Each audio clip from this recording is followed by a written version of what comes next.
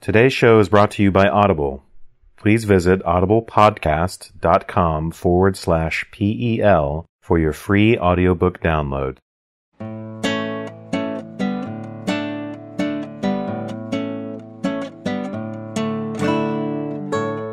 You're listening to Partially Examined Life, a philosophy podcast by some guys who at one point set on doing philosophy for a living, then thought better of it. Our question for episode 72 is something like What is terrorism and can it ever be morally justified? We are joined by international terrorism expert Jonathan R. White to discuss several articles from various historical periods. You can join the discussion, get the texts, and read loads of supplemental material at partiallyexaminedlife.com. This is Mark Linsenmayer in Madison, Wisconsin. This is Wes Alwan in Boston, Massachusetts. This is Dylan Casey in Middleton, Wisconsin. This is Jonathan White in Grand Rapids, Michigan. John, why don't you tell us how you ended up on the show? Well, I entered the field of technology lately, realizing that my iPod might not start a fire. I avoided them for about 10 years. Then I discovered podcast. By accident, I stumbled upon you guys just as I was teaching a quasi philosophy class introducing freshmen in the Honors College to uh, the idea of liberal education. I was rereading all the stuff that I pretended to read when I was studying history and uh, found out that I was absolutely fascinated with philosophy and loved the way you guys approached it. I wrote you guys a fan letter and never thought I was going to be on a show with you. So this is a thrill for me. I mean, you guys are really philosophers and I want to be a philosopher. Mark, you're a rock and roller and I know CF and G7. And this is great. Yes, that's one of the dangers of writing fan letters to us. It's uh, you, know, you might get you might get, Get recruited. You might end up having to yeah. So you're at Grand Valley State University, right? Grand Valley State University, you bet. Tell us what the things you do there. What makes you a terrorism expert? So government people come to you and ask you stuff? Well, you know, in my academic career, I've always tried to pick an obscure field that nobody knows anything about so that I can act like I'm an expert. And I kept changing and changing and changing to religious terrorism, and it finally caught up with me. So I just, uh, I got interested in this stuff back in the 1970s when I was on a SWAT team on the Jackson Police Department. I had a master's in military history, and terrorism seemed very close to military history. I've also been very interested in religious terrorism, how religious messages are twisted and turned into violence. And I've just started studying and writing. Ran into Brian Jenkins uh, from the RAND Corporation at a conference in 1983 and asked him, What should I do? He gave me a three step plan and it worked. And uh, that became my field of expertise. You've edited several textbooks, right, on the subject of terrorism. These are pretty widely used for introductory I, courses. but I come from a very practical perspective, and the folks who like my work tend to be military folks, security folks, and uh, law enforcement people. The folks who don't like my work are folks on the theoretical side because I don't examine a lot of theory. For example, when we were reading the uh, article from Stanford, I looked at that and I thought, well, this is really nice, but it doesn't help me get people off the airplane. By the same token, I've written a whole lot about what they were discussing and have been amazed at how close social science and history really are to philosophy. And hmm. Wes, I confess to you, I'm really glad you guys weren't my professors because I've had a pretty exciting life. And if you guys had been my professors instead of the guy I had, I would have majored in philosophy and I wouldn't have been trekking through the hills of Pakistan then. So this has been okay. and you said you've been using the podcast with your students. Is that right? Oh yeah, you guys uh, bailed a lot of them out. Especially, and I love the one on Voltaire. When I always thought Voltaire was pretty philosophical, and the way you guys kind of took him apart, I thought, oh well, uh, I like you anyway. But uh, I have one one young lady who uh, just said to me, I had no idea how to write this paper, and I listened to the show you suggested on the partially examined life, and my paper came together, and it did. She got an A, and she's very happy, and now she's one of your fans too. Right. I just got a letter from somebody saying, I have a paper coming up. Do you want to write it for me? I'll give you $10. Ten dollars. Wow. Hey, for ten dollars, I'll write the paper. well, it's an academic salary. You guys know something about that. That's why you went out to make money, right? Yes. Now we're rich. it says you're the executive director of the Homeland Defense Initiative. What is that exactly? I could really come up with a good story. I can tell you the truth, and I guess I'll tell you the truth. I was consulting with the Department of Justice State and Local Anti Terrorism Program prior to 9 11. And after 9 11, the government asked if uh, I would take a leave of absence. And actually, they asked if they could pay Grand Valley my salary and just have me join the program full time for a while. It was supposed to be six months. It turned out to be three and a half years. I was the Dean of Social Science, and uh, the president of the university created a position that would allow me to go out and help the federal government as well as state and local entities across the country. He created through our board of trustees the Homeland Defense Initiative. They gave me the title executive director in case I wanted to go back into administration because executive director, dean, you kind of gives you some lateral flexibility. Yeah. But I actually only supervise myself. I keep getting the provost saying, and during my personnel review this year, I've examined my strengths and weaknesses and counseled me on what I do wrong. And I've recommended myself for a pretty good pay raise, but doesn't seem to go. Okay, so you made it up, in other words. I'm an N of one. hey, I consult with the government. You know, that's what we do. Yes. Wow. All right. Well, we have about five articles on the list. Let me just list them off. Actually, if you look at partiallyexaminedlife.com, there's a description both on this episode itself, and then usually there's a link to for more information or to get the readings. I provide a couple paragraphs in each of these, but just to list them off, we had uh, one by J. Angelo Corlett, Can Terrorism Be Justified? That's from 1996. Another recent one, Donald Black's The Geometry of Terrorism from 2004. We had an article in the Stanford Encyclopedia of Philosophy by Igor Primoratz on terrorism. And then some historical sources. So one, uh, The Philosophy of the Bomb, A Brief Response to Gandhi, which is associated with uh, the Indian nationalist Bhagat Singh that was uh, working at the same time as Gandhi in a less peaceful way. And then Karl Heinzen's Murder and Freedom from 1853. And the beginning of, uh, we read Carl von Clausewitz's On War from, I guess he started writing it 1816 and didn't finish it before his death. So his wife put it out 1834. So that's a big list. And before we get into it, let's have a word from our sponsor. I want to take this moment to thank our sponsor, Audible, which is a great provider of audiobooks and other spoken audio entertainment. They've got more than 100,000 titles to choose from in every genre you can think of, and you can listen to them wherever you want on your smartphone or your MP3 player or on your computer. And as a PEL listener, you can get a free audiobook when you sign up for the service. Just go to audiblepodcast.com forward slash PEL. Audible is a good way to prepare for our podcast episodes. It has unabridged audio versions of many of the classic philosophy titles we cover, including Platonic Dialogues, Kant, Nietzsche, and so on. There are also some good introductory works, such as Philosophy, a very short introduction.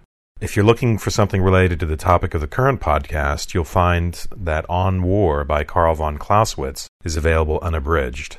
Or you might try a book by philosopher Nicholas Fotion called War, Terrorism, and Violence. Fotion is one of the major theorists in the area of philosophy of terrorism, and we touch upon his ideas briefly in this podcast by way of the Stanford Encyclopedia article.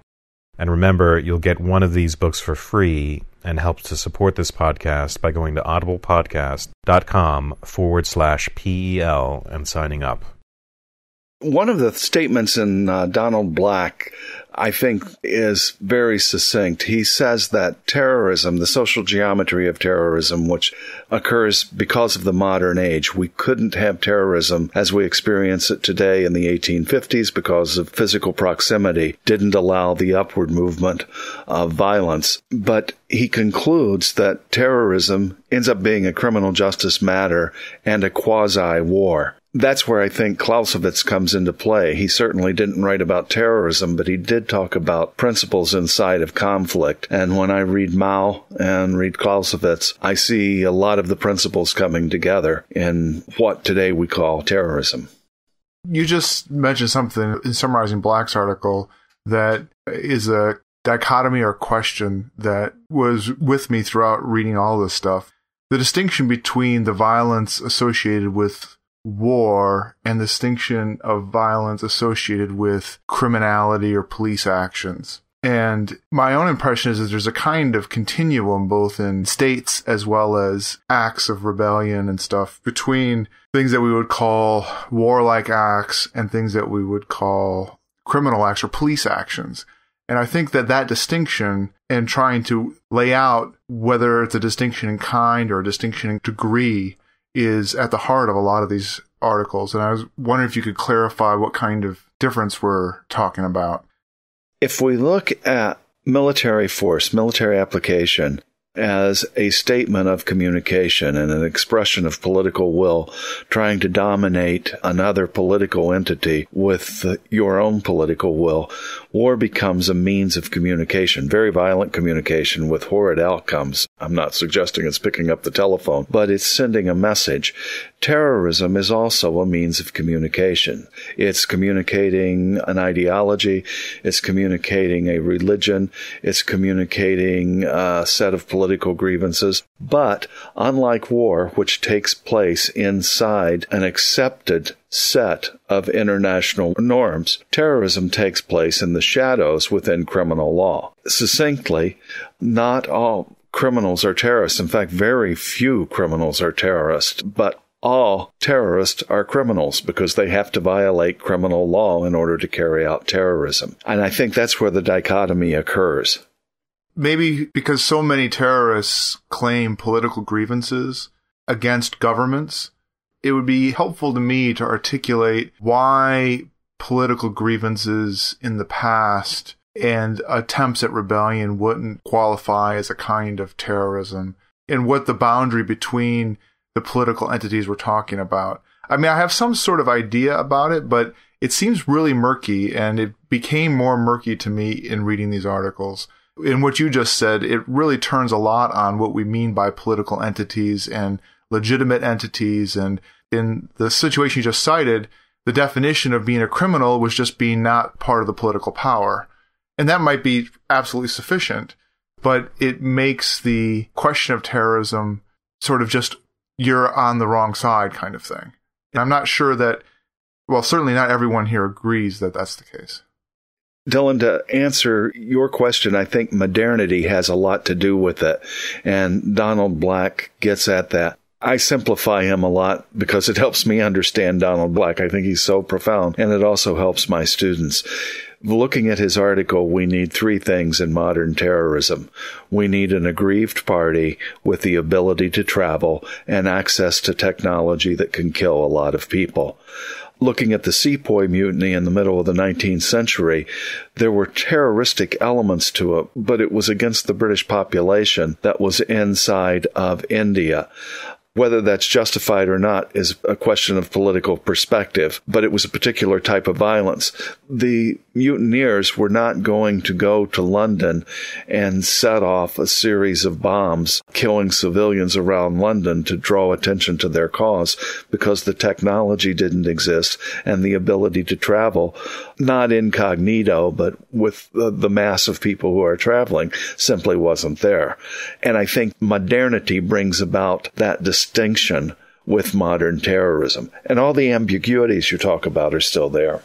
Yeah, I think this gets us to the, you know, some of the philosophical articles that we looked at. The question is whether or not an act of violence is targeted at, say, non combatants or innocents or whatever you want to call them. Although, you know, we did read the Corlett article, which argues for a wider definition of terrorism, which is not necessarily aimed at non combatants. But I think, um, by contrast, Primoratz in the Stanford Encyclopedia article, he argues for this definition of terrorism where you include in that definition the idea of targeting innocents or non-combatants. So you distinguish it outright from, say, guerrilla warfare or other types of activities that are, you know, by the aggrieved party against, say, people who are considered to be perpetrators, you know, say a military official or president of some regime or something like that.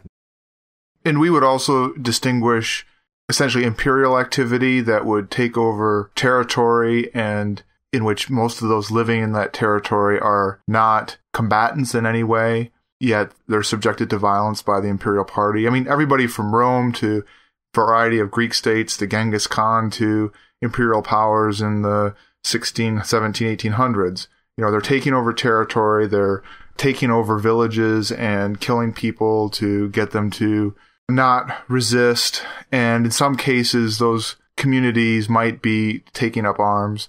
I guess there to me, there are the beginnings of the whole discussion of state terrorism, which one of the articles brings up, but are we're kind of bracketing that off to the side. No, no, I, I think that's a good point. I mean, the Heinzen Murder and Liberty reading, which I thought was really rhetorically pretty amazing, right? But it, you know, I, I, mean, that's the kind of point that he's making, which is that you know, if you want to accuse the revolutionaries of being murderers when in fact states are built on murder, and so he's trying to eliminate all those distinctions. But I, I think it's a good question to say: what, do we call?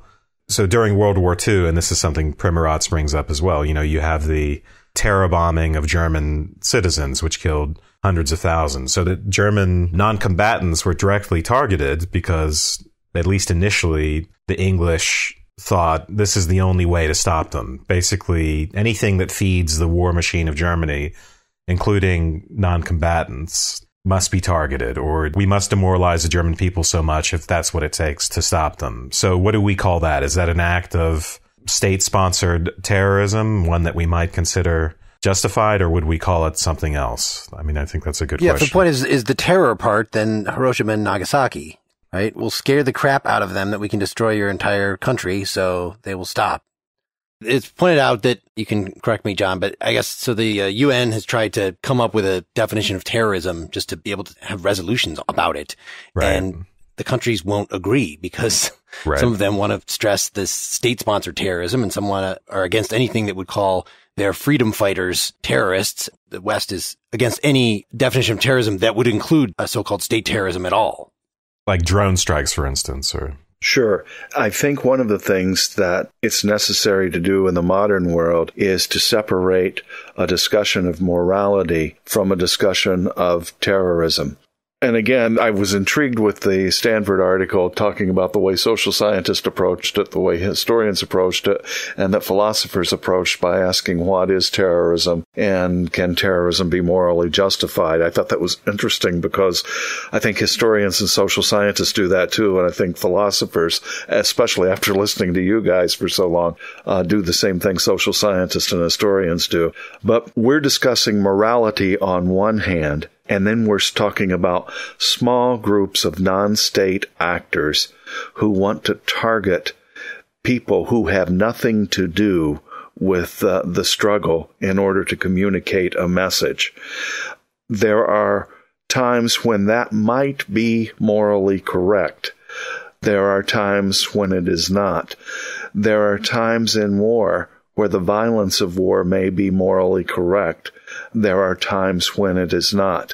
But I think, and I would leave this to you guys and your discussions and dichotomies, but the discussion of morality is a different discussion than the tactical and strategic aspects of conflict. Terrorism is a specific way of fighting, more organized than rioting and uh, people just going amok, and less organized than guerrilla warfare. So that to me is a useful distinction. I'm still trying to get my head around it, but it's putting a name to this activity that is often an unabashedly political action. That is, the goal isn't money or wealth. That would be ransom or kidnapping or intimidation. So that's not terrorism.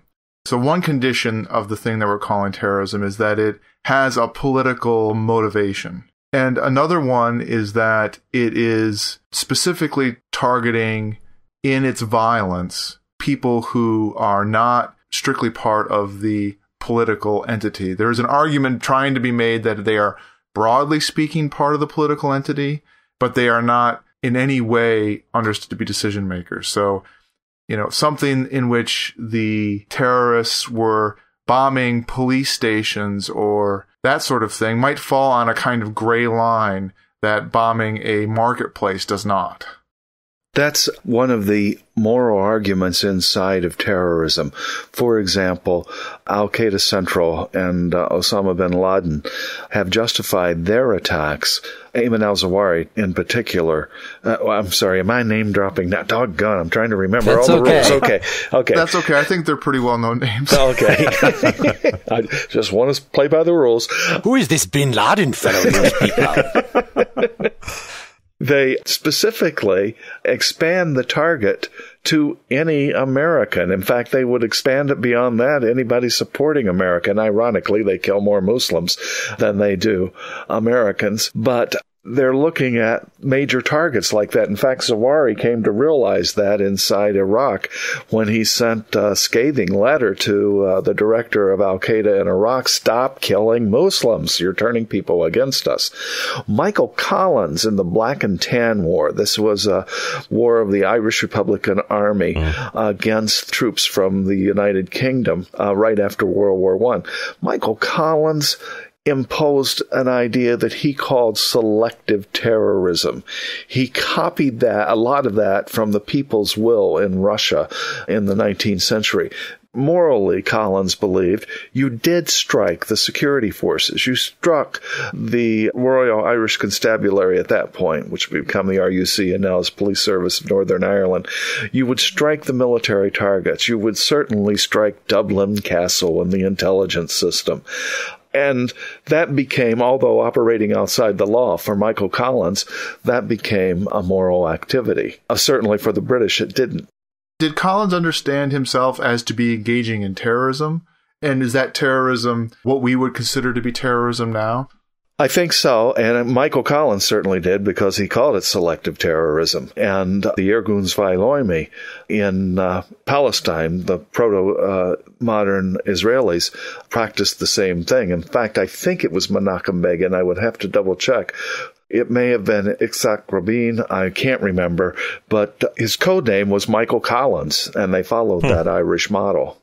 One thing we haven't brought up yet is just terrorism against property. So that it might be similar acts where sneaking into a public place and blowing it up. But if the intent is to just destroy a bunch of property, like I know that as soon as the measures came down after 9-11, then we heard in the same breath about monitoring of folks in animal rights groups and that kind of thing who uh, might even consider themselves terrorists if not for the association with acts like 9-11. But whose methods would be to go in and destroy the apparatus that they think is uh, causing evil. Certainly with a political goal in mind and with the idea of causing fear that this whole enterprise, whatever they're against, is not going to stand.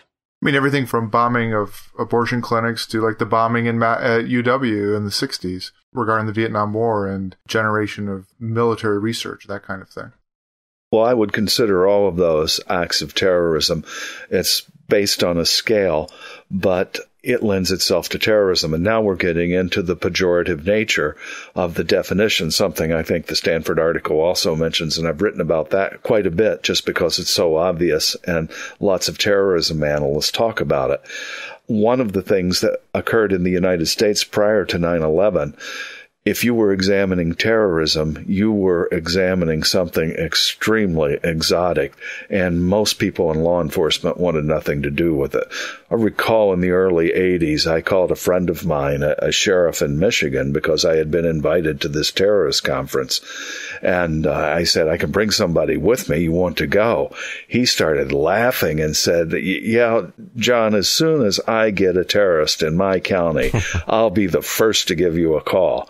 About three years later, he called me and said, John, have you ever heard of a bunch of people who say that white people are made in the image of God, that there are mud races, uh, and that Jews are from the devil?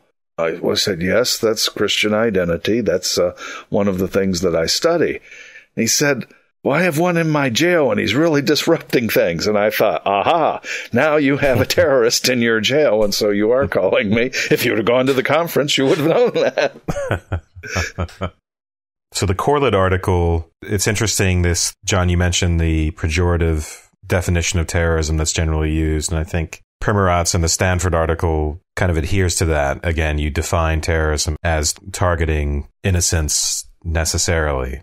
But Corlett argues that we shouldn't prejudice ourselves one way or another. We should establish a sort of neutral definition of terrorism that doesn't predispose us to say that it can or cannot be morally justified. And now I'm looking at page 167 at the bottom where he comes up with this E prime definition. The definition he likes is pretty broad. I'll just go ahead and say it. Terrorism is the attempt to achieve or prevent political, social, economic, or religious change by the actual or threatened use of violence against other persons or other persons' property, The violence or threat thereof employed in terrorism is aimed partly at destabilizing the existing political or social order, but mainly at publicizing the goals or cause espoused by the terrorists or by those on whose behalf the terrorists act. Often, though not always, terrorism is aimed at provoking extreme countermeasures which will win public support for the terrorists and their cause. So, there, he's trying to avoid saying that terrorism is necessarily targeting non combatants or innocents. He wants to leave open the idea that it could be nonviolent protest that still is designed, you know, so if you have a highly restrictive society and you go out and do a nonviolent protest, that's still going to put fear in the hearts of those that don't want the, you know, apartheid was the example he gave, who don't want that to change. And so that is using terror He's not saying it's terrorism. He uses that as a counterexample Okay. to an author who argues. So it has to be violence or threat thereof. Yes, you're right. Yeah, there's an author who argues that terrorism is unjustified, Carl Wellman, and he gives a list of it's harmful, uses terror, unduly harms the innocent, is necessarily coercive, infringes rights, and in each case he gives examples to say that these things alone aren't enough to say that terrorism is unjustified. So in the case of it being coercive, well, civil disobedience is coercive. That doesn't mean Right. it's terrorism, but it's that's the point I think. But we, we would also exclude other kinds of violence by groups, like the KKK lynching blacks in the South would not be considered terrorism under this definition. It doesn't have, seem to have the necessarily political change issue. Uh, Well, I think it would does, say- though. Yeah, it it's it's trying to keep blacks down. It's the attempt to prevent political, social, economic, or religious change. So it's the fact that the blacks were getting too uppity and voting and all this stuff was the reason that they were doing that, and it was to intimidate the rest of them and you know try to get them to move away or whatever. I can understand that, but how is it destabilizing the existing political or social order? It mainly aimed at publicizing the goals or causes espoused by the terrorists or those on behalf of who the terrorists act. Well, Corlett makes the point that it can be for the sake of preserving an order as well. So I'm not sure why that didn't make it into his final definition there. But in the article itself, the point is that you, you use it for a political purpose, and it can be to maintain the status quo in the face of certain societal changes. Well, if you think that destabilizing existing political or social order, that the KKK is addressing a social order that they perceive as blacks feeling free to just be out there living like regular folks. And Right. that is the order that they're trying to destabilize. That no, they need to be in fear and huddled down and, you know, move off to somewhere else. I think it'd probably be clear to say destabilizing or preserving, but I think you're right, Mark. You can flip it and look at it as which do you call the political order? The fact that blacks are playing a larger role in society or, you know, the, the previous order in which they weren't. As a variation, you could, on a, a slave holding plantation in the older days, maybe a master might make an example of an attempted escaped slave or something to put fear in the rest of them. But would you call that terrorism according to the same broad definition? Because it's an attempt to keep that social order, keep everybody in line. It seems that once you allow that, then you're really opening yourself up to quite a lot of stuff. That's a good point. You're right. I mean, Black makes a distinction between terrorism and lynching and feuding and other kinds of social activities. It makes it sound like a uh, a gala or something. That's not what I mean. But at least the activity of lynching, which you might consider a kind of a mob activity if it's done essentially on the fly, as opposed to the activity of an organization like the KKK, who's maybe behaving in a slightly different way than mob activity. Right, that's a good point. Yeah, if it's merely unplanned and reactive mob violence, yeah, then it, at least for black, right, it no longer is. It seems to me like that's true for Corlett too, because there's this explicitly political aspect, which I take to be meaning that, for instance, in Timothy McVeigh's case. Was Timothy McVeigh a terrorist? Not according to Black. Or is he just really a pissed off guy? I think with Black, keep in mind that he is talking about pure terrorism. And pure terrorism has the social geometry direction of up. It is weakness to power. And things that go in other directions are not pure terrorism. If we drop the distinction with pure terrorism and simply look at the issues, the counter efforts for the Klan and for terrorists are extremely similar. And there's a victim, a victim suffering. The victim is symbolic. The purpose of the violence is communication. So I really respect Black. In fact, I think sociologically he captures the essence of pure terrorism. But Clausewitz also writes about pure war. And then he talks about war in the political world because pure war doesn't exist. Terrorism in Black's social geometry is pure. Terrorism as it exists in the world is nebulous and messy and comes in a variety of forms. One of the hmm. ways that I've tried to solve the problem practically is to use a typology and really differentiate between types of terrorism because different types of terrorism demand different types of responses a lot of my friends in political science criticize me because I include a lot of crime in terrorist activities. And the reason is simple. The same thing that works against very sophisticated terrorist networks works against organized crime. I was giving a briefing in Kansas City a couple of years ago talking about how terrorist cells operate, where they function, how they draw finances, how they intimidate for investigators. And a lieutenant, or he was a command officer from the Kansas City Police Department anti crime unit, came up to me and said, Gee, what you're telling me is this is just organized crime with political purposes. And I, well, yes, from a practical point of view, it is. And from a prosecutorial point of view, we're not prosecuting any of these folks for terrorism. We're prosecuting them for the crimes they commit while they're operating in whatever realm they're operating in. I guess is the organization part necessary for the terrorism? That's what I, I mean, it, it, seems like a key example of a terrorist activity would be, so you have two forces that are finally, you know, have been in conflict and are finally coming to a peace. So the two governments have said, we're going to make peace. But then there are individuals among one of the sides or the other that say, no, this is a bad peace. And they, whether it's an individual or a small group, go over and blow up their former enemy.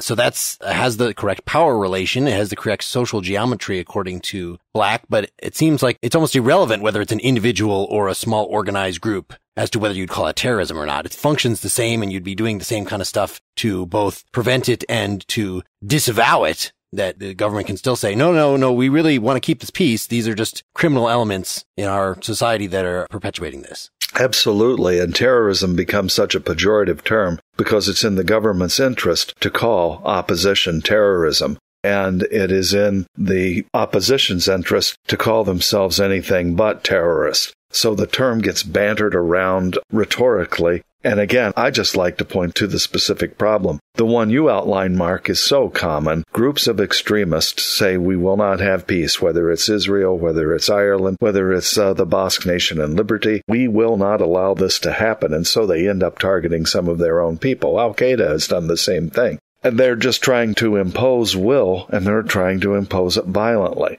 The pejorative, nebulous term of terrorism can be applied, but a more effective way might be to say, okay, what's the problem here? What are the aspects of this problem, and how do we approach that problem? And I freely admit that never begins to approach Black's pure terrorism. It doesn't come up with our definition or the philosopher's definition, if the article is correct, about the desire to have this ultimate definition of terrorism. But one of the analysts that I respect so deeply, and I will not drop his name, said that academics are going to write ad infinitum about the definition of terrorism, and it will not enhance our understanding of terrorism one bit. What we need to do is look at specific problems if you guys had been my professors, I would probably had a different answer. But having studied very practical military history, very practical religion, and very practical criminal justice, I come down in a different area. You brought up earlier that you had classified kinds of terrorism. And that seems to me to be giving you some philosophical credit, an activity that Aristotle would love. And so, so if we, if we start with things that basically look like terrorism by the kind of thing that we mean, roughly speaking. And uh, our discussion here tonight has been you know, looking at sort of canonical cases and then looking at a variety of kinds of edge cases, whether they be removing political boundaries or removing moral boundaries and that kind of thing. But when you brought it up, it made me want to hear more about the kind of sort of pragmatic categories you were going to put terrorism into and to see what kind of boxes those were. And then, of course, my next question would be what things do those boxes themselves exclude? But maybe you could just say a little bit more about how you would categorize different kinds of terrorism. Sure. I was sitting around thinking about this in terms of international conflict, in terms of war, in terms of shifting war. And Immanuel Kant really led me to this conclusion when he talked about movement toward the civil state. And I would let you, I know you guys know far more about that than I do. In fact, one of my uh, colleagues said he had seen a student write in the uh, Metaphysical Elements of Justice. I used to use that in my senior seminar. He said, I can't understand German no matter what language it's in.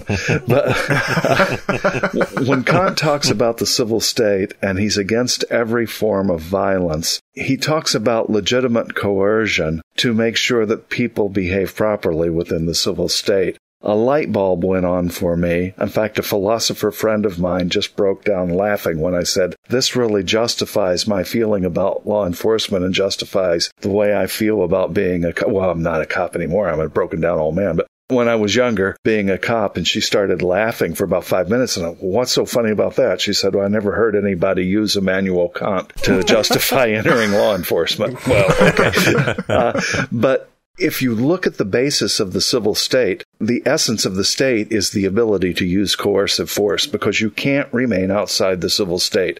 If you do, then the laws of the civil state are immaterial because the person existing in the state of nature can utilize any amount of force he or she wants.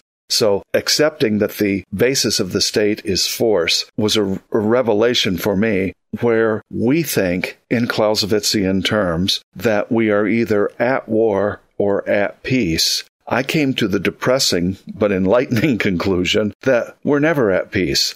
It's always in conflict. It's a question of how much conflict. And the moral job of agents of the state is to use the least amount of coercive force possible to make sure that social stability and justice, and not, not just stability, if stability is in, injustice, but I'm, I'm really deviating from your question, Dylan. It fit into that big pattern. And what I did then was look everything from just social norms all the way up to wars of eradication that would take us back to the state of nature. I broke out terrorism in that spectrum, then dichotomized criminal terrorism and political terrorism, and looked at the various forms of terrorist like tactics that criminals would use. And it's a, a small amount. You have have to have an organized group or a psychotic individual going on a shooting spree. I don't care if it's a man walking into a school in Connecticut or a major on an army base shooting soldiers. The political aspects are different. The tactical aspects are the same.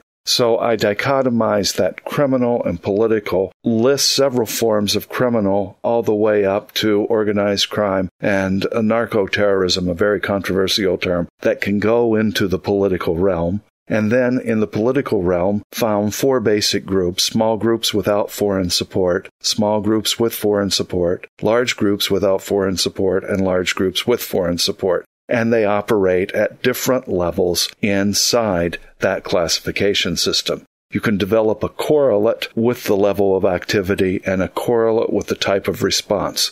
Generally, the larger the group, the higher the level of activity, and the more complex the response needs to be.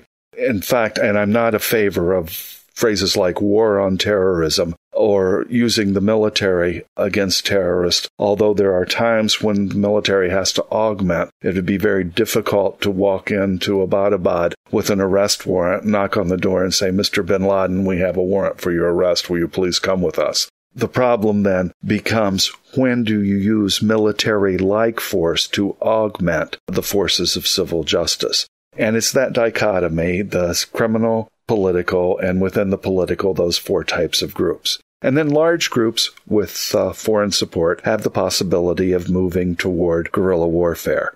Guerrilla warfare differs because terrorists can only use terrorism as a strategy. All they can do is go out and create mayhem. Guerrillas can use terrorism as a tactic to support their guerrilla activities, and the ultimate aim of a guerrilla is to create a conventional army and take political power. Terrorists can never do that. Terrorists can just be disruptive. So that right there is an interesting distinction that sort of makes clear to me how Al Qaeda would be different than the Colombian insurgents in that everything that I've ever read about Al Qaeda indicates that while being political, none of their strategy and tactics involves actually taking territory or taking over political power anywhere. I guess it might become a little fuzzy in cases where they would seem to support political power, but in general, that's not their activity. They're not even like well, except for the Taliban in Afghanistan. Would that be a case more like Sinn Fein and the and the Irish Republican Army? Well, let's stick with Al Qaeda first and take a look at their goals. Their goal is to create the one Islamic caliphate with their version of Islam as the Sharia, as the only interpretation of the law. That simply isn't going to happen. Muslims would not allow that to happen. Every time I'm in the Middle East, my Muslim friends say, John, when you go back to your country, will you please tell them we're not like that? As I know you're not like that. but that just isn't going to happen. The Taliban's goal of we want to control this area, that probably is going to happen. And when we approach something like Afghanistan and the tribal areas in Pakistan and use the phrase Taliban Al Qaeda, it's a great disservice because we're linking two people. It's like using Tea Party and Liberal Democrat they're pretty well opposed to one another, but if enemies are labeling them like that, the next thing you know, Tea Party members are sitting down with liberal Democrats and saying that's our enemy. We need to play that a little bit smarter. But on one hand, there are achievable political goals, and on the other hand, there is a pipe dream that simply isn't going to happen. Back to Sinn Fein, there were elements of it that had an achievable political goal and more moderate elements inside the Republic, the Republican forces, that would work for that goal. In fact, Michael Collins being one. I would separate those guys from Al Qaeda. They just weren't indiscriminately murdering what they've turned in, not Sinn Fein, but what the various branches of the IRA have turned into now, though. Very different from the struggle of Michael Collins or even the struggles of the 1960s. Now, a couple of the readings we read, the Bhagat Singh and the Heinzen, uh, it seemed like both of those were saying that terrorism is a legitimate tool in in pursuit of revolution. And so, of course, the goal of the revolution is to achieve political power. So the Bhagat Singh was saying, look, if you take Gandhi's way, the way of nonviolence, the best we're going to get is nominal independence from Britain. And we're still going to have the same vast inequality running through the Indian state. Whereas what Singh and his cohorts wanted was something like communist revolution. Right. Is it just that in those particular cases like that, this is just a pipe dream and he was being just as deluded as Al Qaeda is, or uh, is this just because they're using the term terrorism differently than you are? He may be using the term terrorism differently than I am. And now we're back to the idea of morality and political action and political violence in the name of morality. This is where I deeply wish, and it'll sound ironic and sarcastic, and I don't mean it to. I wish I had the courage to be a pacifist. I wish I had the courage to be a Gandhi and a Martin Luther King. At some point, I see the justification of violence for the protection of innocent people. I believe that many terrorists, terrorism being a pejorative term, many people with using violence for a political objective being labeled terrorist go through a soul searching process of justification like others do. I got that sense from the article on India, and I might maybe be interpreting it wrong, but I felt some sympathy for the guy wanting to be like Gandhi and yet understanding the point. Right. He says Gandhi is making use of soul force, right? Basically guilting the people in power into giving them power why not add physical force also to this? Mm-hmm. He says, like, you know, at least at the time, since this idea of nonviolent resistance was really quite novel in its actual political use, saying with some justification was saying, look, this is completely unproven.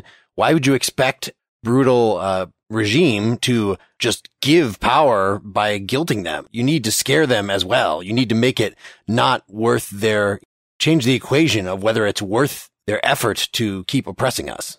What if uh, it had been a different type of power? And this is not an apology for Britain, but what if it had been a different type of power? For example, Nazi Germany controlling India or Saddam Hussein controlling India. The British mm-hmm. response was certainly not pacifistic, uh, it was ruthless, but there are degrees of ruthlessness. I have some sympathy for that argument, although I want to be like Gandhi. Well, yeah, I was just going to say this gets us to Primoratz and the Stanford article.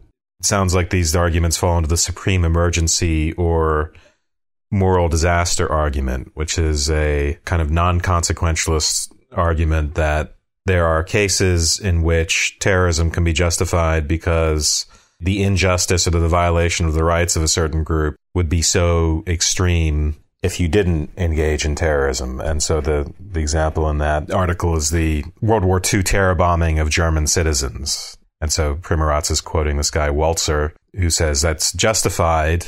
And again, these are German non combatants, but justified because basically the Germans were an ultimate, quote unquote, an ultimate threat to everything decent in our lives, and ideology and practice of domination so murderous, so degrading, even to those who might survive, that the consequences of its final victory were literally beyond calculation, immeasurably awful.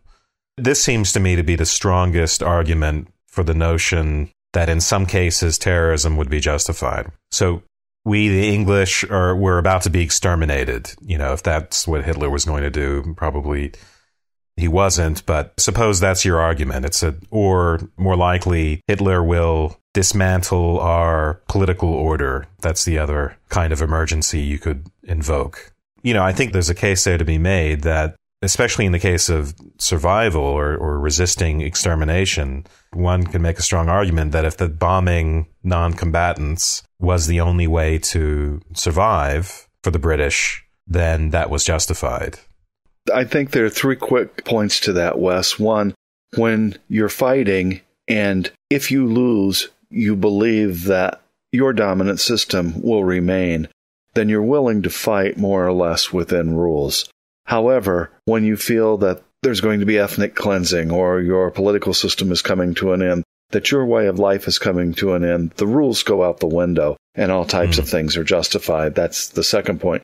And the third point is this neat concept we tend to place around war that we have all of these disciplined people who behave in the proper moral manner and wage the war for truth, liberty, or however they used to say that on Superman, truth, liberty, in the American way. The truth is, when you let slip the dogs of war, you are letting slip murder, mayhem, and savagery. That's the way you win wars. That's why I think war should always unquestionably be a last resort. It is so much more violent than terrorism will ever be, even if there is a massive incident, because wars are massive incidents after massive incidents after massive incidents. And it's so difficult to control violence. And that happens for the people who are supposed to be, quote, the good guys, and it happens for people who are the bad guys and, and simply don't care. And that's a sad fact about war. But now yeah. we're back into that discussion of morality. Terrorism, when I'm looking at it, is a small group of people who threaten or use violence against innocent people for political change. That's a particular tactical problem.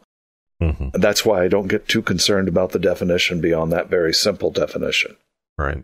The utility of that definition, as opposed to things like war between political entities and criminality, say, with the mob, even though there might be overlap in tactics in dealing with terrorism, the utility in that definition towards understanding it would have to do, from your perspective, with trying to, along the lines of black, understand the social forces that are at work that maybe you could adjust to mitigate terrorist activity. And that understanding would lead you to your own tactics that would be different than the approaches one would use in war or using criminal activities. Yes, absolutely. Well, I'm surprised given that Corlett I thought was the thing you had recommended as being the central paper for us to look at. No, actually I that was I, Wes. Uh, oh. Yeah. Oh, Wes came up with that. All the right. Two philosophy selections I recommended, yeah. Ah, okay. All right. Because so far, what I've heard of Jonathan is fundamentally opposed to what was in the Corlett paper.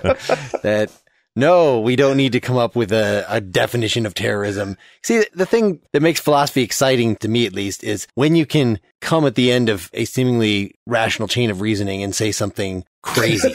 so being able to say at the end of the Corlett paper, but there are actually some kinds of terrorism that are okay. You know, if you're careful, if you avoid the innocence, if you actually achieve some purpose, if you're not an idiot and blowing up things randomly, then yeah, yeah, it's fine even though he said Corlett even makes a point, like, really, I'm just trying to leave a logical space for there to be some kind of terrorism that it is okay. I'm not actually saying that any particular historical thing that has ever occurred, it really is oh, like.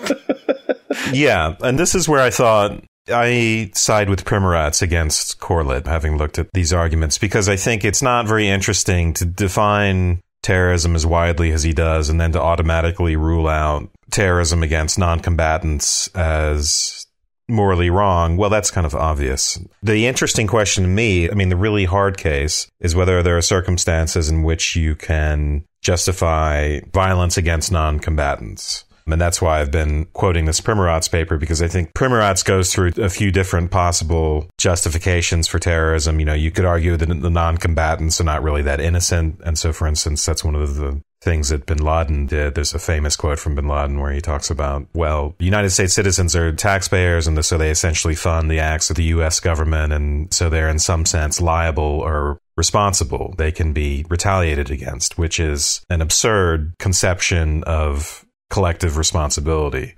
The stronger routes to go are to look at things in terms of you either take the consequentialist route or you take the deontological route. And the mm-hmm consequentialist route is to say that you look at whether or not you have increased the total well-being of, you know, I'm not sure how you define the domain here, but the well-being of a society, regardless of the innocence of the victims, even if you have to sacrifice a few, that may be called for if you're going to achieve a greater good from that. That's kind of a standard objection to consequentialism, right? You can come up with these scenarios in which essentially punishing the innocent is justified. The problem with those sorts of arguments is one of calculation, you know, another typical consequentialist objection, which is that how do you know that this greater good is achievable and that the only way you can do that is through violence against innocents rather than other routes?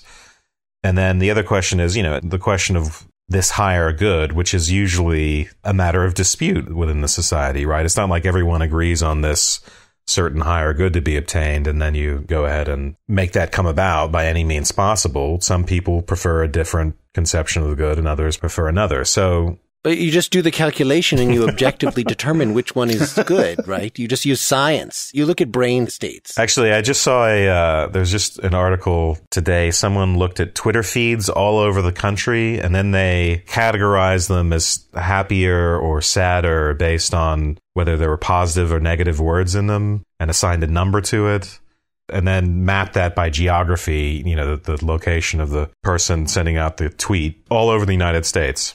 And so they said, okay, this is the relative happiness and sadness of people all over different geographical locations. And it reads like, you know, in a very utilitarianism kind of way, like these are utils, these sort of number assignments. And then they say, well, okay, so what's the happiest corner in New York? Like, and it's turned out to be like 72nd Street and Sixth Avenue. Like that's the happiest corner in all of New York City. Let's meet there right now. The stronger argument for justifying terrorism comes from the I don't think this one is without fault anyway, but that non consequentialist argument that I talked about regarding supreme emergency and moral disaster. And that's the really interesting case. You know, I know, I know, John, this is, you sort of try to bracket out this question of justification, but this actually interests me. As Mark said, it's interesting to see if we can come to most of us sort of have an instinctual gut antipathy. You know, just the very word terrorism is going to conjure up the idea that it must be morally unjustifiable. So there are cases that go against that gut instinct. And I think, you know, again, that's strongest. Whether or not it's applicable, I'm not sure, but this case of the terror bombing of the German citizens. Primoratz actually offers a sort of counter argument to that, which is that really the Germans weren't going to exterminate the British en masse. So that's not the emergency that the British were facing. Rather, it was a dismantling of their political order. and perhaps to some extent their culture. You know, there's that joke if it weren't for the Americans, you Europeans would all be speaking German or something like that. it's interesting the extent to which people are thinking about their cultural identity and people are thinking about their political order when they think in these very extreme terms of emergencies that might justify killing hundreds of thousands of non combatants.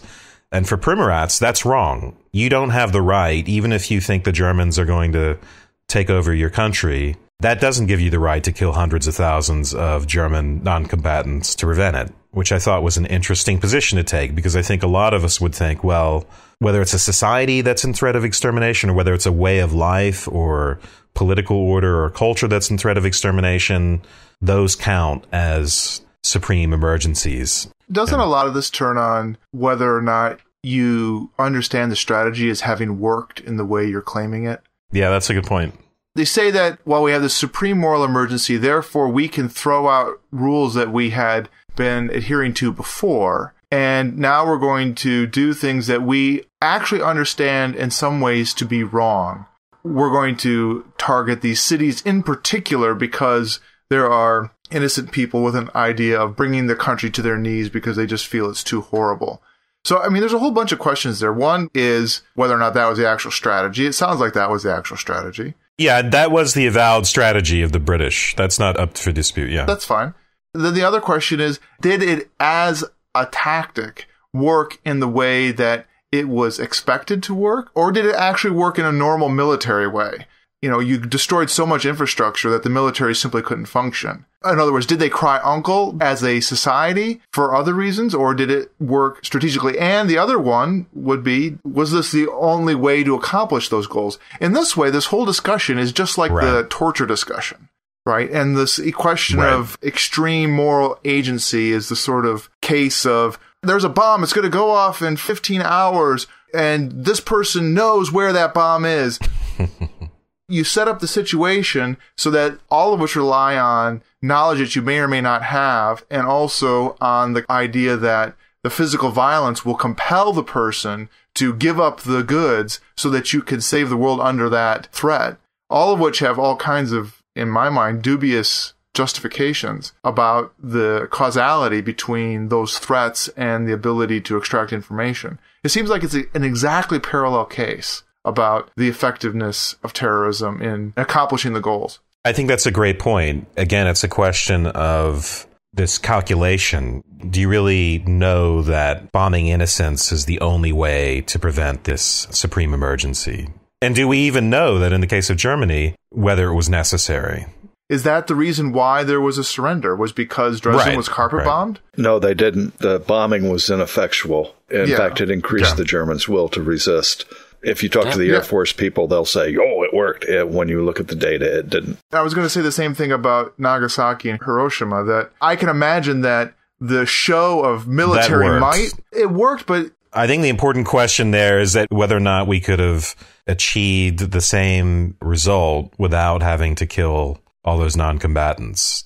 Yeah, well, there's also, of course, the carpet bombing of Tokyo at the same time, right? right? I mean, right, there was a right. Dresden-like sure. bombing of Tokyo Right. Apart from the the nuclear warheads. But you know, that's a big historical dispute whether or not we could have the common argument is that well, so many more Americans would have died and it was necessary to drop those nuclear bombs. Who knows whether or not that's really the case, but I think the important point is that when we're in this position of calculation, I'd say it's impossible to know. And it's sort of a tendentious conclusion that, okay, yes, we must target innocence. That's the only way we're going to achieve our objectives. And as you pointed out, Dylan, it opens things up to abuse. You know, you can argue that there are moral emergencies where none really exist. That if I don't torture this person or bomb these innocents, then X is going to happen. But really, you don't know that X is going to happen. And in the end, when you set that kind of precedent, Primoratz quotes another philosopher who says, it's important that we make it an absolute right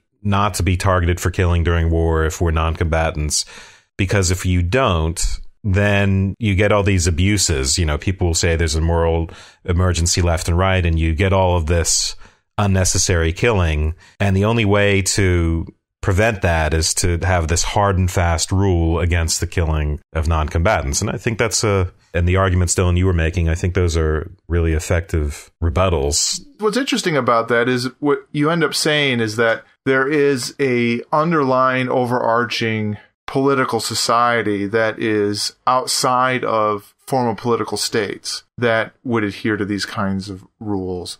There's an argument about torture, and then seems to be there's an argument in terrorism here about when do you go outside those lines and say, well, as John was saying earlier, that in cases of war and other cases you get the boundary pushed, the rules just get thrown out the window. And it seems to me we're articulating rules that have to do with political entities and maybe something like the laws there. And then also these rules, which maybe the UN tries to formalize and struggles with, but are more like claims about the nature of human intercourse and those kinds of more fundamental rules that it sounds to me like we're talking about as being, you know, common law rules regarding the way we interact with one another. I agree with uh, how you're approaching that, Dylan. And Wes, earlier when you said I was bracketing out, I agree with bracketing out the definition of terrorism and talking about the tactical aspects. The moral question, I think, is different than the terrorist question. And like you, that fascinates me mm. from an intellectual point, but actually from my heart because the practical consequences of this. We can talk about the firebombing of Dresden and the carpet bombing of Tokyo. Let's talk about a drone flying over South Waziristan right now there is the target this guy has. This doesn't occur in real life, but let's just make the example. This is the incarnate terrorist, the murderer of all murderers. And you press that button, the Hellfire missile goes, and he no longer can murder. But the little children that are in that area, the families that are in that area, those bombs are equal opportunity. Well, the Hellfire missile is an equal opportunity killer. It does not discriminate. And we make those decisions routinely. That is the question of not only terrorism, but the structure of human conflict. And now I'm with mm-hmm. Kant. Uh, well, Kant, no, I'm not because he was against all forms of this, but with legitimate coercion, the moral job of any agent of a state is to work for justice and to use the least amount of coercive force possible. Will there be times when we have to push that button? That's when I wish I had the courage to be a pacifist and say no. And I'm afraid like the terrorists that I read, there are times when I say yes. When we start reflecting on the moral issues involved in terrorism, and, and I can see why you would, in the capacity that you advise, would be okay with ignoring them because, you know, if you're just trying to deal with it on a practical level, then making judgments about whether someone else is justified is beside the point. We've already determined this is action that needs to be, you need to take action against. So talking about some obscure historical cases or about hypotheticals or whatever is, is really beside the point, of course. As a decision maker in government, you of course have a different set of moral decisions, which it seems to be what we've been focusing on here. For our listeners, or what interests me about why I would consider ethical issues at all is because I'm very self-focused and want to, uh, you know, what would I do? what would it, you know, so I can't, I don't think many of our listeners are Al Qaeda members or in any are, are, the kind of people that would commit acts of pure terrorism in any sort of sense. But what if you just feel really strongly? What if you're a member of PETA? What if you're a member of an anti-abortion group and you might really consider it as a live option of like, well, I don't want to even hurt anybody, but should we go destroy labs? Should we go destroy clinics? Is violence something that's on the table or not? And by comparison with the, uh, just looking at the unknowns involved. So by comparison with the, decision making from of whether or not you're going to use torture or the bombing of Dresden kind of operations because you don't know if they're going to work. So, you know, as an individual, it seems profoundly rational to say, well, because there's probably some other way to achieve this goal without using violence. And there's so much that can go wrong with violence. And I don't know if the violence would really work anyway. Why don't we just avoid that? so there you go. There's, there's the whole moral deliberation involved with this issue in two minutes. That's well put. Yeah. Part of the problem is the way in which violence ends up being salted with vengeance in these cases. It seems to me that it's no small part of the act of violence, either in war or in the case of torture, that is meant to be sadistic in the most general sense. It's meant to inflict pain for Mhm. sake of punishment and vengeance. And it's rationalized as being useful or for achieving some objective. Or just. Yeah. Both. yeah. Justice and vengeance often, I think, in people's minds are pretty close together, though. Yeah, except for the fact that you have in the case of justice the notion of doing unpalatable things. And that's sort of what we're talking about in some of this case of justified terrorism is that you would partake in an unpalatable or wrong act for the sake of some higher good. And then there would be the case of saying, well, look, violence in itself isn't wrong. It's a, desirable to avoid it, but that there isn't a moral judgment to be made on the activity itself. Am I right, John, to understand that that is in part the kind of direction that you go on this? Trying to clarify the questions by separating out the moral aspect from the sort of tactical and strategic aspect. And on the one hand, understand what kinds of terrorism are there? How do they work? To be clear headed about that, let's try to purge that discussion from moral questions and questions of justice. Let's just talk about how those activities are working. And then if we have a question of morality later, uh, we can have that, but let's try to get some clarity on what the activity is like. I live in two different worlds, the academic world and the world of practicality. And as uh, one person said, and a disclaimer, I love the FBI. I like working with them, but they are not the most intellectually reflective people in the world. And I can't talk about moral reflection too often with them, but at the university, I talk about it all the time, which leads to an interesting dichotomy among my colleagues because the guys on the anti-terrorism team think that I am the world's worst liberal who belongs on MSNBC with his own television show. And when I return to the university, they think I've just gone out somewhere and whacked terrorists and they don't want anything to do with me. Uh, it's a, uh, I got a buddy at Michigan State. He said, yeah, it's like, to quote my favorite philosopher, George Costanza, it's worlds in collision, Jerry.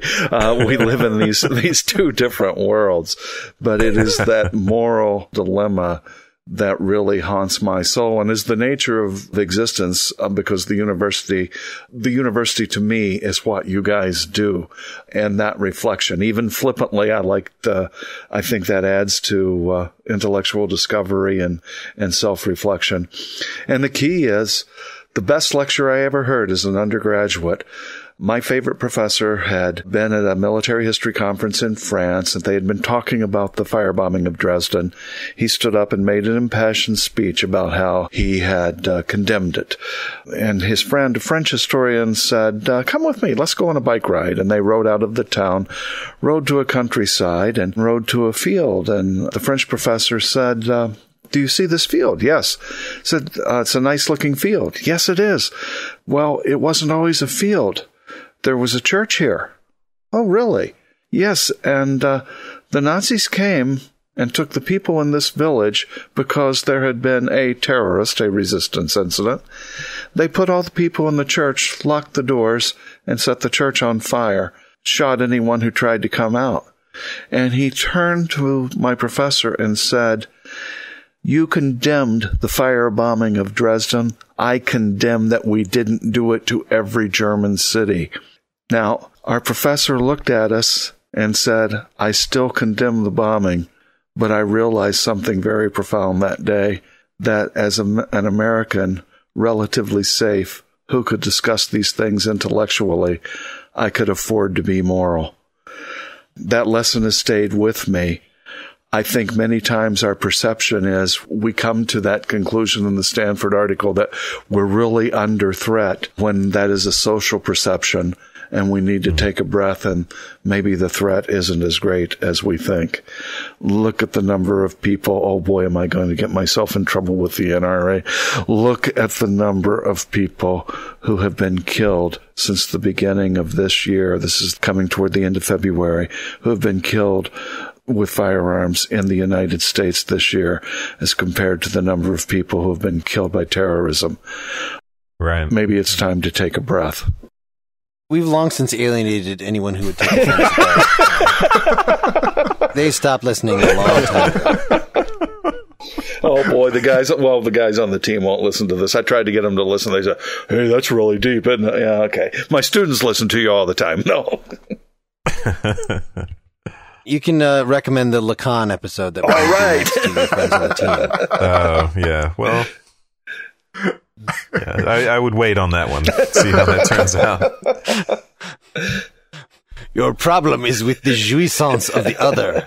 Yes, it's gonna be a, it's gonna be interesting. John, can I ask you a little bit about you've been doing this kind of work for a long time and your work bridged the 80s and 90s. You admitted that work in terrorism was in a kind of backwater. And then, of course, we had 9 11, which resulted in a fundamental change in the way we arrange our armed and civil forces to put that front and center. And it's also been 12 years since that event. And it seems to me there's been an evolution of thought about the reaction to terrorism and understanding it.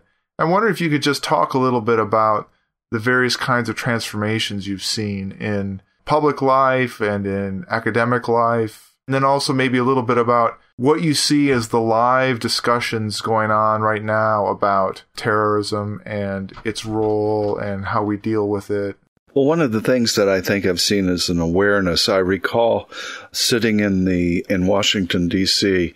in the summer of 2001, and the counterterrorist team was talking the the Department of Justice training team. You know, well, what is our next phase? What are we going to talk about? And I raised my hand and I said, well, you know, there are a lot of issues coming out of the Islamic world, a lot of issues in the Middle East, and I think we should really be aware of those. And everybody looked at me and said, Nobody cares about the Middle East. okay. And then that changed on September 11th, unfortunately. And there has been an awareness of that. And I'm also amazed those of us who studied terrorism in the 80s and 90s, and then the number of terrorist experts that have come out in the 21st century. It's just phenomenal how quickly everybody became a terrorism expert. but uh, there is an awareness now, and I think there's an overemphasis what I think some people understand is that there is a change in the nature of warfare. Mark, I had sent an email kind of discussing this. After the Thirty Years' War from 1618 to 1648, the Europeans developed a different feeling about war. It wasn't formal. They didn't write it down. There weren't referees who came out and enforced it, but there were a set of rules. And those rules said one, we're not going to fight about religion again, it's too deadly. Two, we're going to accept war as normal. Three, we will fight limited wars for limited political objectives. They'll be ruthless, they'll be global, but nobody's going to be destroyed. We'll just sign peace treaties and ship things. And that was the norm from roughly the Treaty of Westphalia from uh, 1648 until the French Revolution there was a profound transformation with the French Revolution, and the structure of conflict changed. We moved to an idea that war was abnormal. Therefore, we mobilized everything to fight war, to end war the nation was in arms, we moved to total war. Clausewitz wrote with this atmosphere, both understanding Gustavus Adolphus and Frederick the Great of the limited war period and understanding the necessity for the German point of view, for Germany to unite as a nation to stop the French nationalism. Of course, the French were thinking the opposite, but we enter an age of total war, and that lasts until the end of the Cold War. Right now, we have kind kind of a total war mindset. But the world has changed. Nuclear weapons have made the world unsafe for war. We have what one author whose name I will not drop, but he's absolutely brilliant. and if I was going to say it, it would be Thomas P.M. Barnett, but I won't because I know we don't drop names. Uh, he argues that there is a new map for the Pentagon. There are the have nations, the lesser included, and the people who are living day to day actually to see if they are going to live through the day. And fighting is going to take place within these three economic zones. His argument is the next big one isn't coming. We're in for a lot of little ones. And the way to encounter that is to encounter it holistically with military policy being minimal force and maximum economic and human development. That doesn't get a lot of uh, parlance among many warriors, but he's popular at our war colleges. And I think that's the biggest shift. But right now we don't understand that. And in, I, I made a joke about the gun lobby that it was going to be angry with me after this show, but we're not talking to, you guys do, but for the most part, we're not talking to one another in the country. We're screaming at one another and not listening to what the other side says. This is just another problem, terrorism, and we can handle it. Some people are getting that. And Dylan, that's the big transformation that I see. Some people at the top do understand that. Many people still have yet to get it. It's one of the reasons I love teaching so much hoping that maybe by touching what you guys are doing, I think is so important in teaching because maybe by listening, people will expand a little bit and think those magic words that are so hard for professors to say.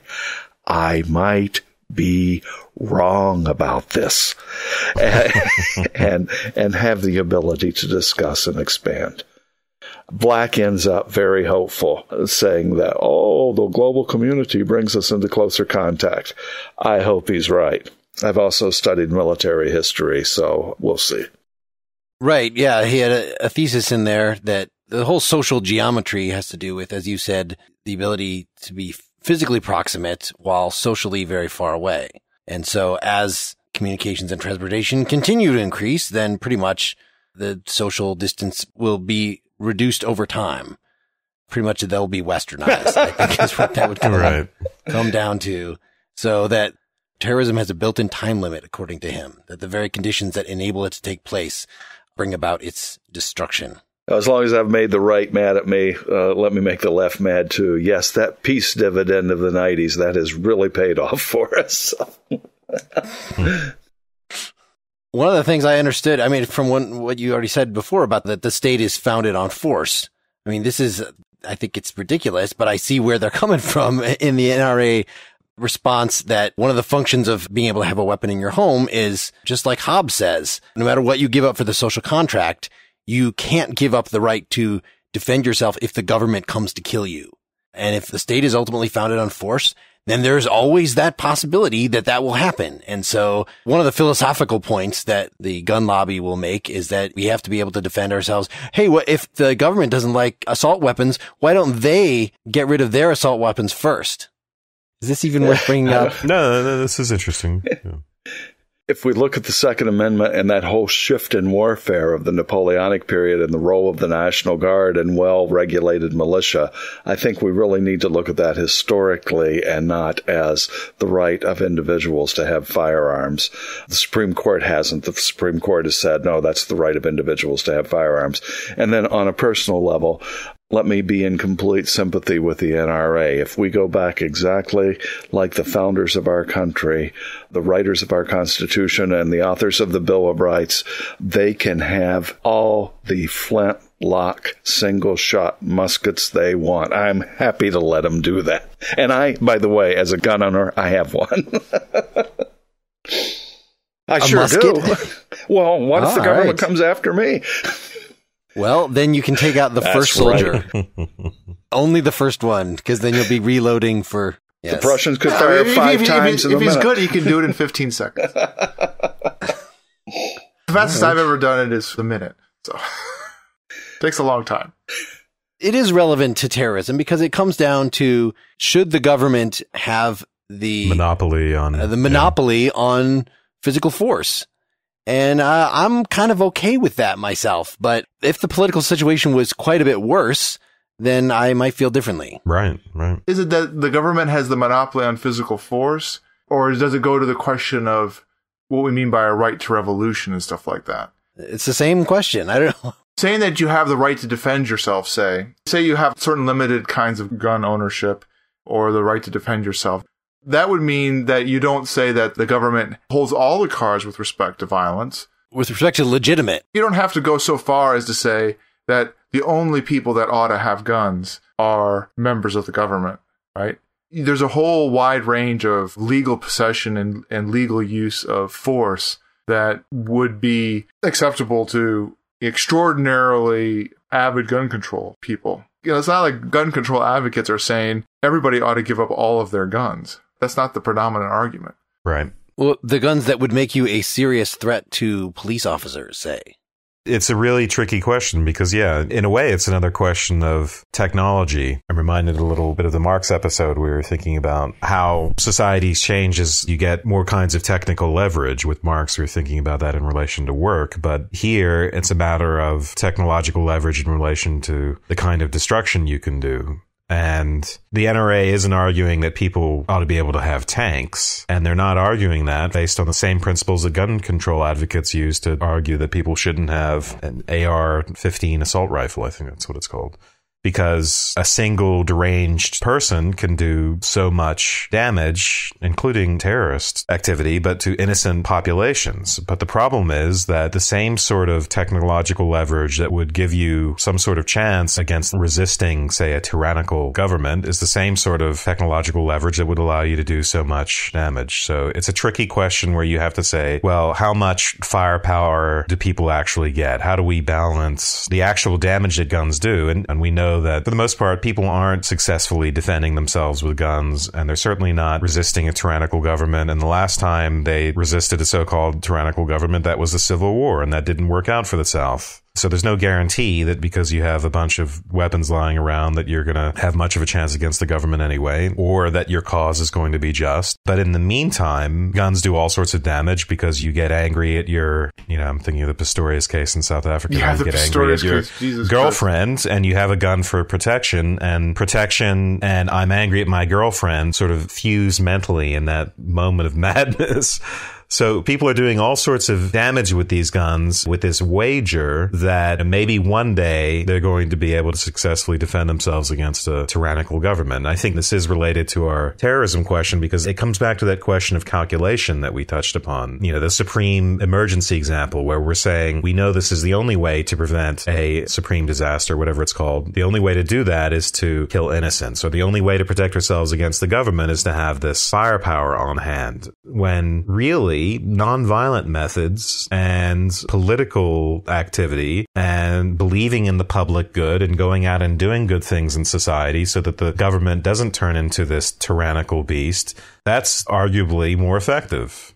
So it comes down to a question of whether you have this idea that violence is your only way out, or whether you think that nonviolent methods can actually be quite powerful and, as Corlett pointed out, quote unquote, coercive in a sense. Violence and coercion are not identical. You know, there are coercive nonviolent methods that are quite effective.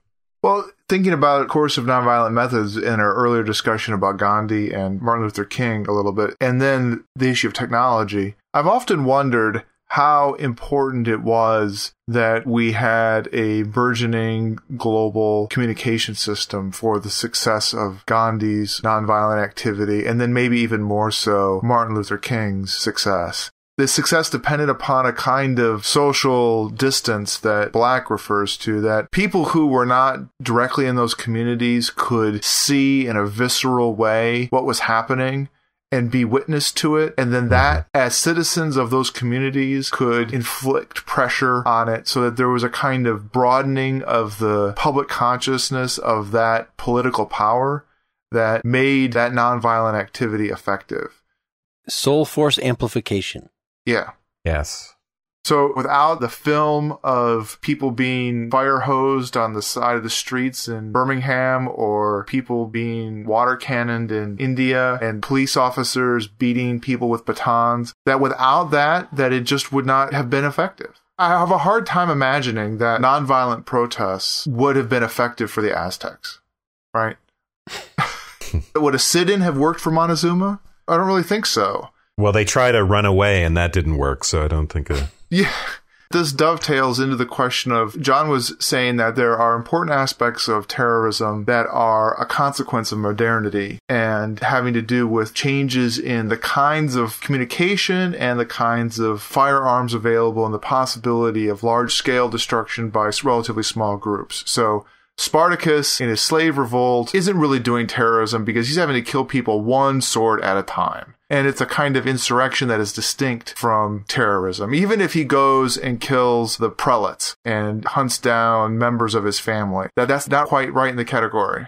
When I said um, nonviolent coercion, I wasn't just thinking of civil disobedience, although sure. I'm thinking of getting involved in government at some level or being a citizen, to go back to our Aristotle episode. The idea that simply being a citizen and performing certain citizen duties, that there's a force to that, there's an effectiveness to that, and it's a better insurance policy against bad government than a gun. That's the idea. And it, it isn't always. The problem with all of this, there really are these extreme cases where a genocidal maniac is on the loose, but it's much rarer than, well, I don't want to say how rare it is. Well, it's rare, but it's also the case that the claim that the Jews would have overthrown Hitler and prevented Hitler from rising if they all had a couple extra guns in their house is so outlandishly ludicrous yeah, that's a good point. It defies any kind of logic any more than the notion that let's just take the hypothetical case that the United States government goes apeshit crazy and starts rounding up people into uh, concentration camps and sending them all to Alabama or something like that, right? You're going to stop that with a couple AR 15s in your house? It's a whole different order of problem. I think it's disingenuous to the people who are involved in those conflicts themselves, and it's a kind of tortured misreading of history. It seems to me you would be a much stronger ground if you said something like, well, you had sort of the, the crazy person argument that, you know, I'm going to defend my house against crazy people, which is also doubtful because the data seems to show that while being both unlikely is also not the case that people successfully defend themselves against crazy people people either, even if they have guns. But the whole idea that the United States government, the Second Amendment, supports armed insurrection of the government itself seems a bizarre reading of the Constitution.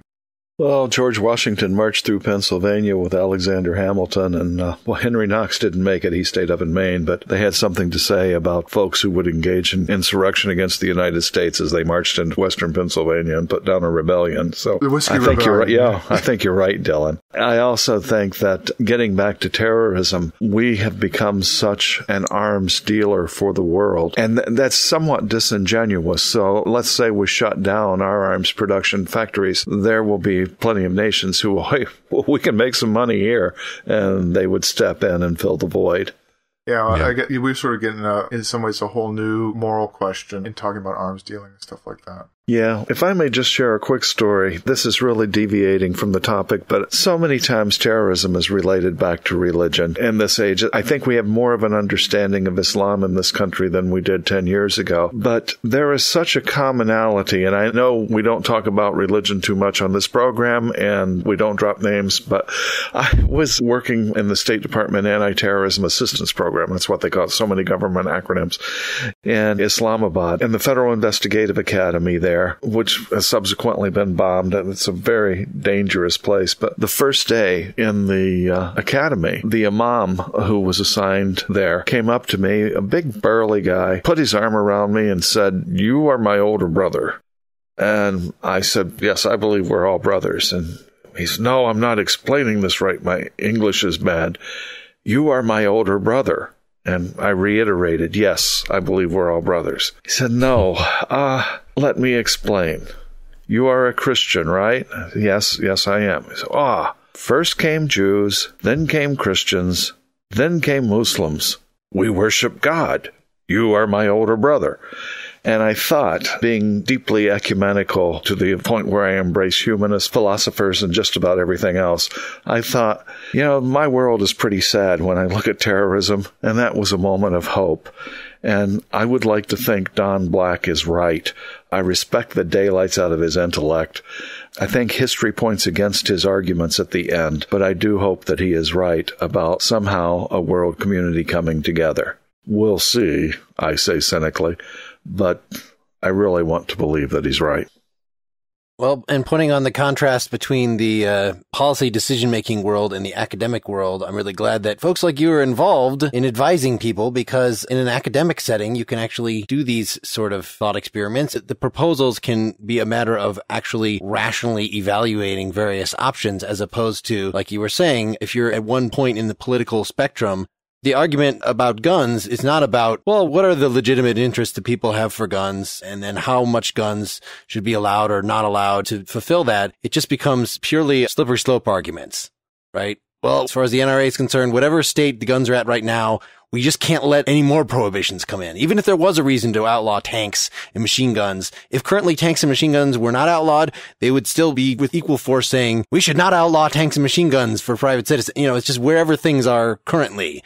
And that's the way I think most political factions on all sides operate is with a certain, I won't say just sheer irrationality, but that the positions argued for are not a result of rational deliberation so much as political calculation of trying to slant the entire debate in your direction as far as possible. So, uh, just the fact that there are academics involved advising the government, I find, I find hopeful. well, see, that's why you guys should have stayed. You would have been wonderful. But you're doing great stuff now, so don't worry about it. And I love the exchange of ideas. I do think that's the human hope if we just would talk to one another. There's a sentiment right at the beginning of the Heinzen Murder and Liberty article that I just wanted to see what people thought about. I mean, it, it really starts off very pacifistic that don't say, oh, capital punishment is one thing and murdering is another. They're all the same. They're all taking a human life. It's all horrible. Humanity must absolutely condemn all killing, since she refers all hostile conflicts among men to the tribunal of reason, and not to that of force. She is therefore only consistent if she designates every voluntary annihilation of the life of another human being with the condemnatory term murder. Her only endeavor can be to abolish murder, yet so long as murder offers the only means for the attainment of this object, humanity is also compelled to draw the sword and to become the murderess of the murderers. If one man is permitted to murder, all must be permitted to do so, particularly those who practice it for the annihilation of the murderers by profession or by the grace of God. So, so it starts off in this very dovish thing and says, well, but since we live in an imperfect world that's built on blood and force, then we have to do it too. That's just the way it is. That's the way the arguments go so many times. By the end of it, he seems to be positively, you know, he's telling these little anecdotes about poisoning people and doing, and he's practically reveling in the in the violence. Yeah, yeah right. This was uh, 1853, and he's rejoicing about like, have you heard of these new things, bombs?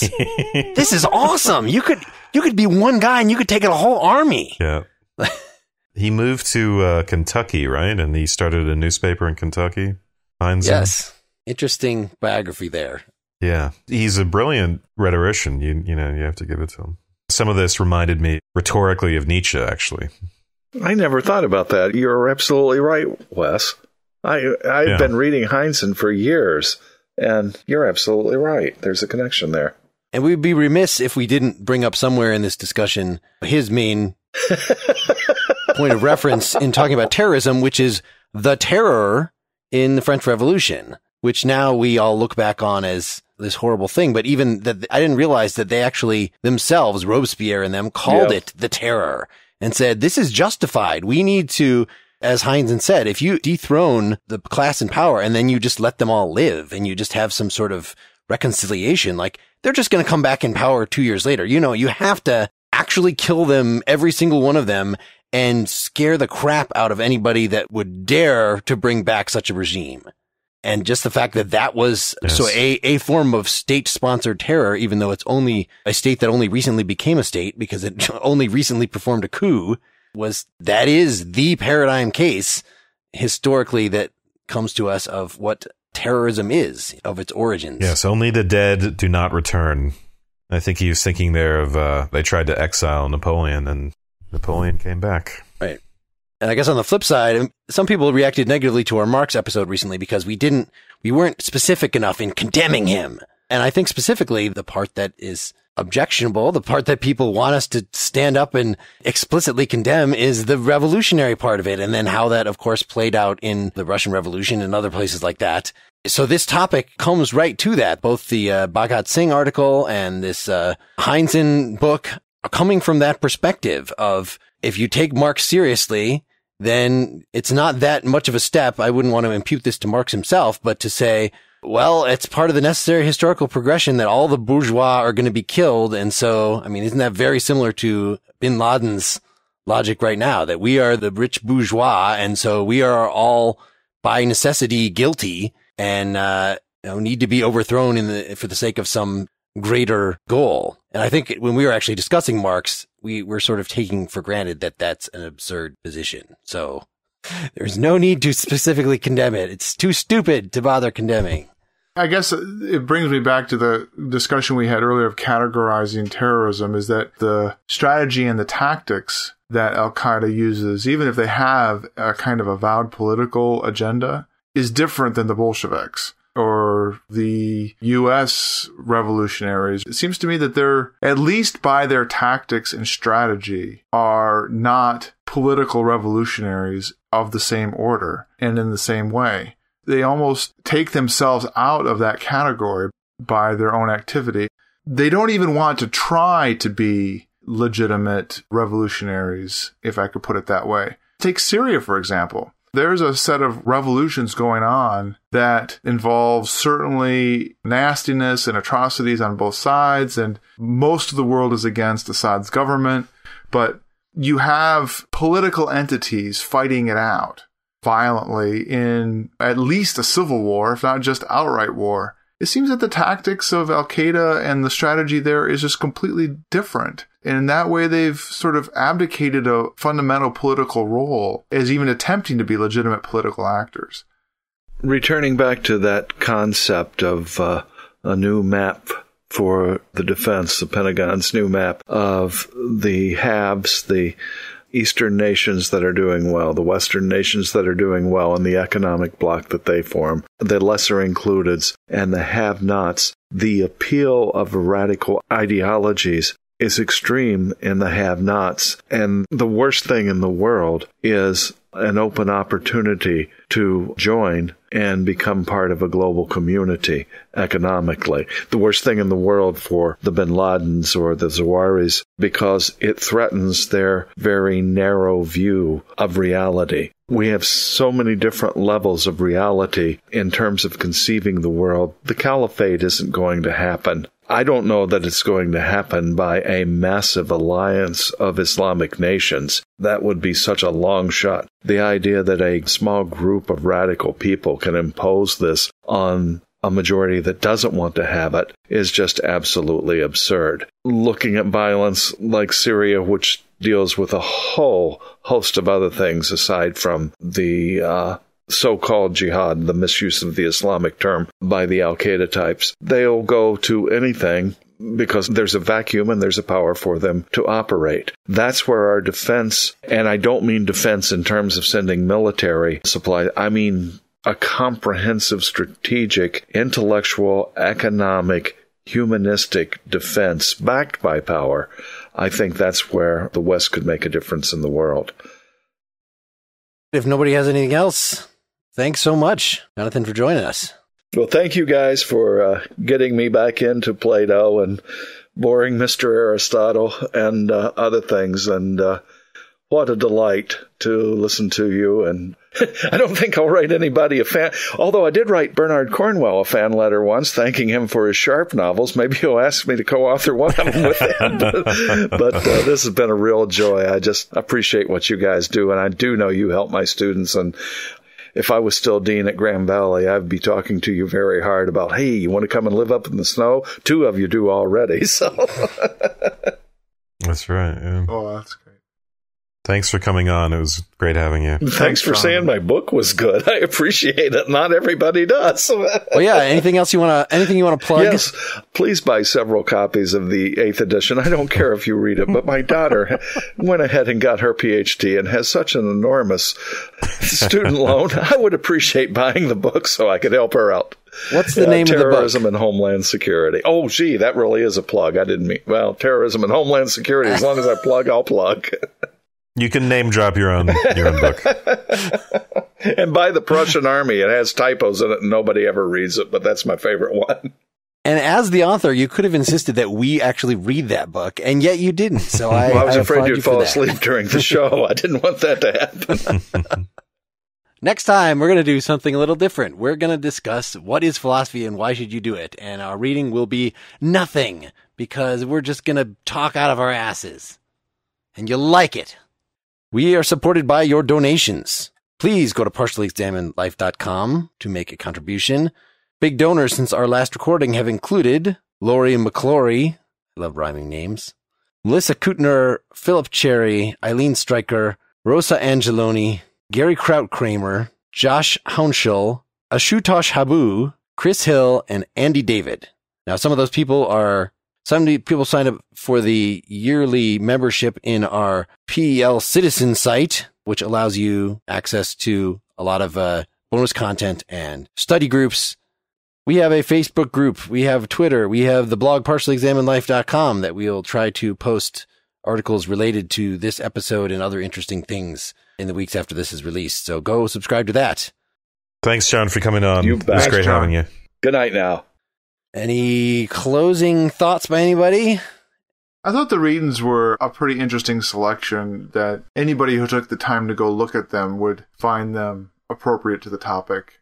It's also interesting to have somebody who's falls somewhere in between academic and policy and practical. I thought it was refreshing in that respect.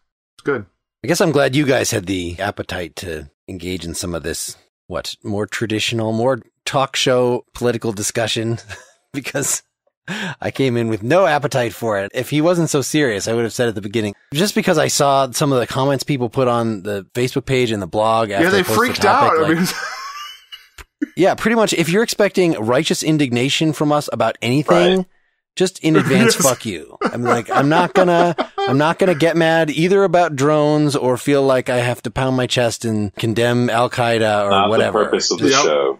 Watch Fox or MSNBC. yeah, people want that immediate, easy little gratification of someone moralizing about something. It's obnoxious. yeah. You know, for whatever accusations we, you know, people have leveled against us for being liberal or whatever, we avoid that moralization thing. You know, condemning Marx or you know, feeling the need to condemn Marx or say no, Marx is the greatest thing since sliced bread or whatever. No, It's just so tiring. is. It's, and so I feel that same way.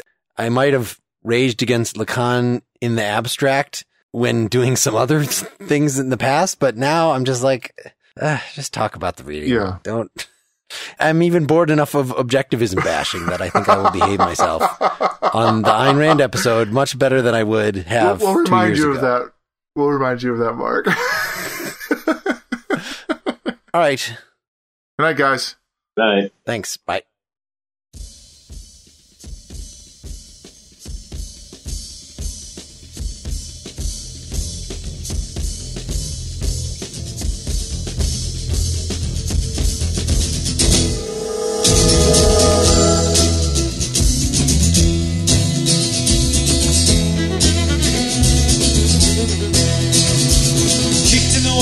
Friday, moonstruck us in our eyes.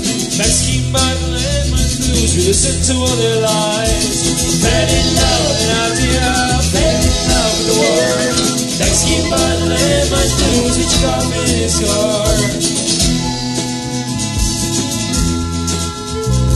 Looking for the cool view, trying to escape the. Machine gun setting on the radio. Look at them lights.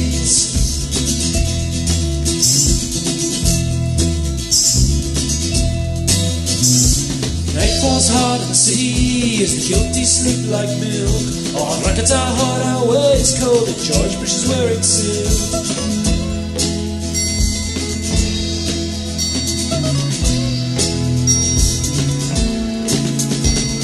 Traps delivers his pizza to the president of the chain. Holds on to the steering wheel as napalm falls like rain.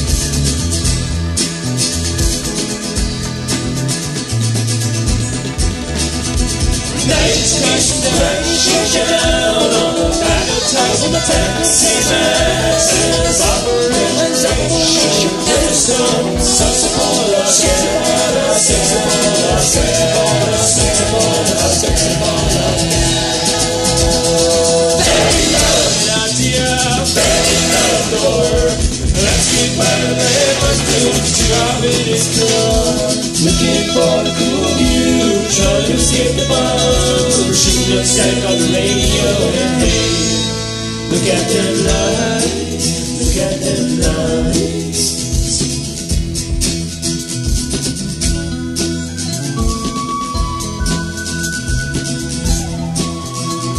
A thousand.